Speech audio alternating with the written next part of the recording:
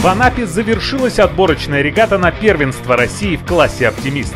Соревнования «Весенние паруса Анапы» регата имени Героя Советского Союза Ивана Голубца проходила с 8 по 14 мая, и в ней принял участие 161 спортсмен из 9 регионов России.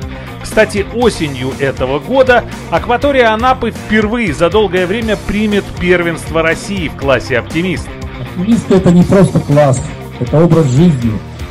Квалификационная серия гонок прошла по разнообразной погоде, дав возможность гонщикам проявить себя как в средне-слабый, так и в сильный ветер. Ветра хватало, чтобы провести чуть ли не двойную программу, но мы провели все 10 гонок. Даже сегодня пришлось одну гонку прекращать из-за резкой смены направления ветра, но все равно мы ее провели. Что уровень флота, а, ну, по крайней мере, у топ-50 уже сильно подравнялся. Это говорит, и, и не, многие дети уже могут приходить первыми, причем уверенно приходить первыми, удерживая свое место, тактически удерживая на второй лавировке. Им хватает для этого и скорости, и мастерства. Меня это очень радует, потому что у нас теперь не единицы топ, а их много. И во внутренней борьбе топовых мы всегда, конечно же, можем надеяться на то, что общее мастерство у нас сильно поднимется. Бронзовым призером соревнований стал Лука Кандыбин – Даниил Деев – серебряный медалист весенних парусов Анапы, ну а первое место на протяжении всей регаты удерживал Егор Харламов из Москвы. В каких-то моментах он был быстрее меня по скорости и брал лучший старт. В финальной серии в зачете девушек особую стабильность показала первая четверка. Бронзу завоевала Анастасия Кузнецова из Санкт-Петербурга, Крестовский остров. Э, акватория здесь просто отличная, огромное море, Гонки складывались тоже хорошо. Было в некоторые дни тяжело, но справлялась с ветром. На второй строчке зачета девушек регату завершила Ксения Романова, Санкт-Петербург, Академия парусного спорта.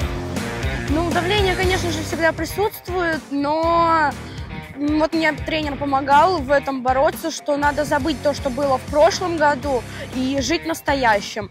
И надо в этом году брать снова золото. Ну, сейчас приехали немногие, но достаточно сильные ребята. И вот сколько я уже, ну, давно я уже на оптимисте гоняюсь, и ребята с каждым годом все растут и растут. Захватив лидерство еще в первый гоночный день, победительницей регаты с преимуществом в 56 очков стала Алиса Крупачева, Калининградская область, Дюшор, ПГО и Академия парусного спорта. Мне очень понравилась акватория. Акватория похожа на нашу акваторию Балтийскую.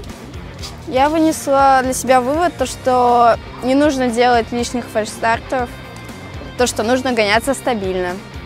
Мне очень понравилась атмосфера, потому что все дружные, все понимающие.